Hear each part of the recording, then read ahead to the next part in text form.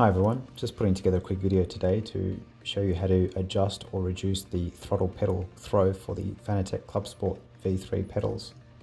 Uh, one of the first things you'll notice here is that uh, out of the box the uh, pedals have quite a long travel or throw as it's known and what I want to try and achieve today is to reduce it so that it kind of finishes up around here or to be as short as possible as opposed to being all the way down the bottom there.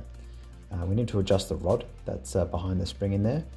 Uh, so the first thing we want to do is access that with uh, two tools, a 17mm spanner and a 3mm Allen key.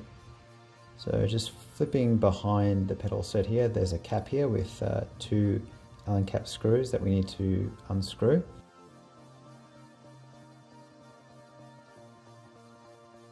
Also, I'm wearing workshop gloves here because it's quite easy to get your skin caught underneath the strong pressure of the spring here. So just pushing up with your thumbs, uh, carefully supporting the pedal and making sure that doesn't fall down and accidentally break anything like the vibration motor and taking the spring out as well, again, whilst holding the pedal there.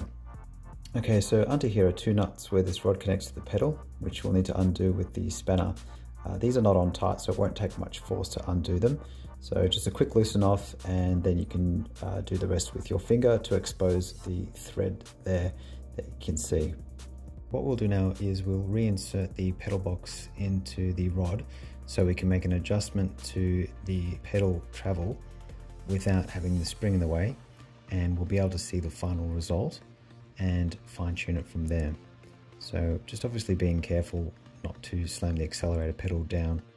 Now we can run tests by grabbing the rod and turning it to gradually unscrew it. And we can see here that by doing so, the pedal travel is being reduced and gradually going higher, getting to a point where it's going to come out of its housing. So just simply reinsert it, turn it a few times to secure it, and then you can, uh, by hand, tighten up the nuts till it reaches the top there. You can then remove the pedal box and finally finishing it off with the spanner, uh, tightening it up firmly but not too, not too aggressively.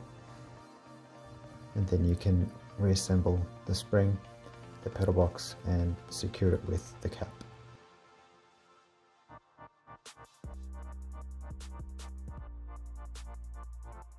Okay, so the final result here is we can see that the pedal travel has been reduced fairly significantly compared to what it's like out of the box. Thanks for watching. I hope you found this video useful.